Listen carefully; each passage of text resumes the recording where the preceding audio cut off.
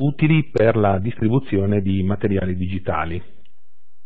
Proseguiremo poi con eh, una presentazione dei libri nella nuvola e vedremo come i nuovi ebook sono utilizzabili anche come contenitori di materiali condivisi dai docenti.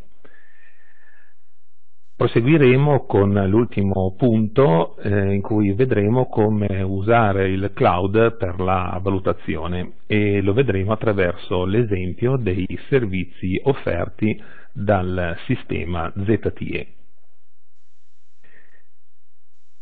Iniziamo subito con eh, la presentazione del concetto di cloud computing e i suoi principali servizi offerti. Per introdurci nel problema eh, sono proposte due domande iniziali. Perché usiamo i computer e come siamo abituati ad usarli? Beh, alla prima domanda ciascuno potrà rispondere in base alla propria esperienza. Usiamo i computer perché ci permettono di eh, realizzare più velocemente un insieme di operazioni, usiamo i computer perché ci aiutano nel lavoro, perché ci permettono di comunicare, ci divertono e quindi a questa domanda diciamo, non è assolutamente difficile rispondere. La seconda domanda invece, come siamo abituati ad usarli, non vuole portare la nostra attenzione al modo con il quale siamo abituati ad usare i computer, eh, ma più che altro ci vuole portare su un insieme di tre elementi fondamentali che forse l'abitudine ci ha eh, indotto oramai a considerare come fondamentali, come basilari per l'utilizzo appunto dei calcolatori elettronici e quindi non ci soffermiamo più molto a riflettere sul fatto che ultimamente siamo abituati a considerare l'hardware, il software e l'utente che utilizza questi strumenti un tutt'uno per raggiungere un obiettivo. E a prima vista sembrerebbe che questi tre elementi siano davvero inseparabili. Un calcolatore elettronico privo di software serve a poco, il software senza l'opportuno hardware non ha eh, la possibilità di eh, risolvere molti problemi e naturalmente eh, sia hardware che software in assenza di un operatore che coordini le operazioni per ottenere un determinato obiettivo, chiaramente da soli non prendono certo le eh, iniziative necessarie per arrivare appunto alla soluzione di un determinato problema. È però davvero così, cioè siamo davvero costretti a considerare hardware, software e utente eh, realmente inseparabili? Per la verità eh, qui si inserisce il concetto di cloud computing. Con il termine inglese appunto cloud computing che tradotto in italiano eh, suona mh, mm, diciamo molto più familiare, nuvola informatica, si vuole indicare un insieme di tecnologie che permettono, sotto forma tipica di un servizio offerto da un provider ad un cliente, di memorizzare, archiviare e o elaborare dati utilizzando risorse hardware e software distribuite e virtualizzate in rete. Che cosa significa? Significa che l'inseparabilità del software dall'hardware nel concetto appunto di cloud computing non è più una eh, situazione da considerare diciamo, davvero ehm, non risolubile diversamente. Si può effettivamente separare il software dall'hardware. In che modo?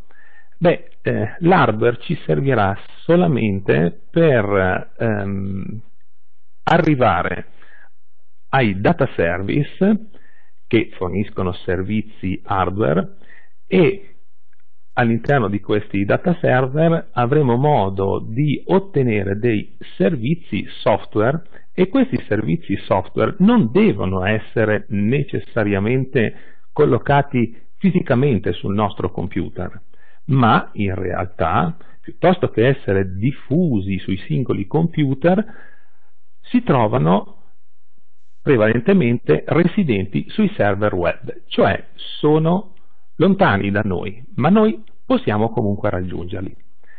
Per fare un esempio che mm, ricorda un po' il passato, ecco, io da bambino vedevo alcune persone che non avendo un uh, orologio uh, ben sincronizzato, che non forniva un'ora esatta,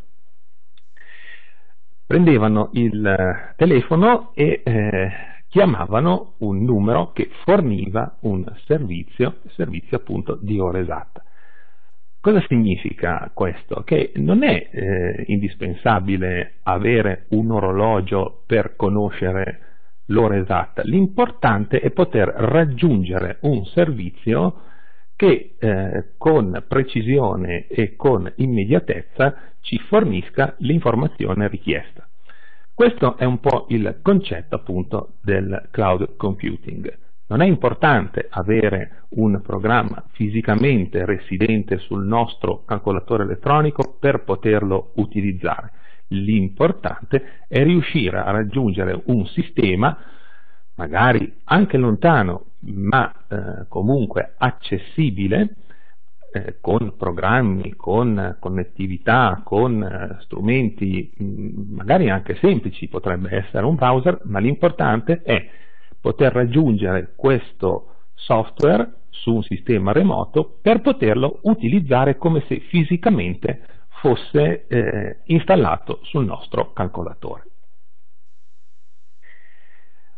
Un secondo esempio, i dati che fino ad oggi eh, venivano salvati sui eh, singoli PC, nell'ambito appunto del cloud computing saranno decentrati su vari server, quindi giganteschi archivi digitali a cui l'utente può accedere grazie a un comune browser o grazie ad applicazioni particolari.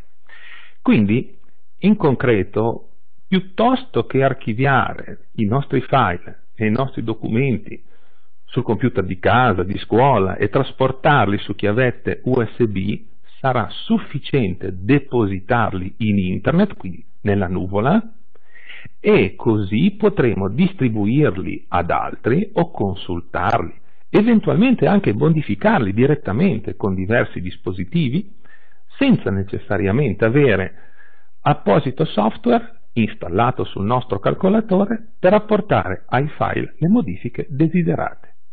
L'importante è raggiungere questi file su sistemi remoti e una volta raggiunti eh, che siano distanti da noi poco importa, l'importante è poterli comunque utilizzare, manipolare, gestire con opportuni programmi.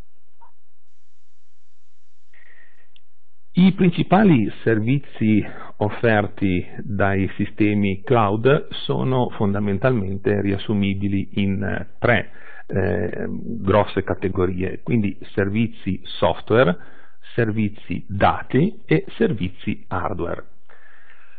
Con eh, i servizi software intendiamo appunto la possibilità di utilizzare programmi installati su server remoti, cioè al di fuori del computer fisico della LAN locale, spesso eh, accessibili attraverso server web. Per quanto riguarda invece i servizi dati, questi servizi vengono messi a disposizione via web solamente i dati ai quali determinati utenti possono accedere qua, eh, tramite appunto qualsiasi applicazione come se fossero residenti su un disco locale, quindi non è necessario averli fisicamente, realmente sul nostro calcolatore, l'importante è riuscire ad accedervi e lavorare su questi dati. Ultima tipologia, eh, servizio hardware. Con questo servizio l'utente invia dati ad un computer remoto e questo computer provvederà a eh, elaborarli eh, da, attraverso ulteriori calcolatori elettronici e ehm, rimetterli a disposizione ehm, i risultati nel, nel prodotto finito della, dell'elaborazione di questi dati all'utente iniziale.